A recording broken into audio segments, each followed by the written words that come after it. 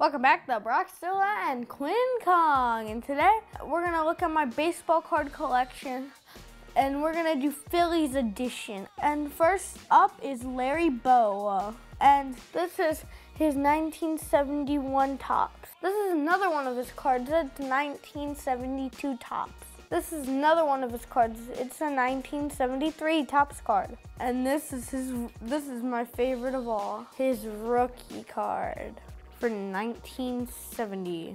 He's a five-time All-Star and a World Series champion.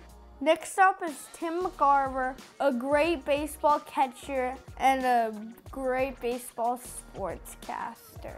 This is his 1972 card. This is his 1974 Topps card. He's a two-time World Series champion, a two-time All-Star, and a three-time Sports Emmy Award winner.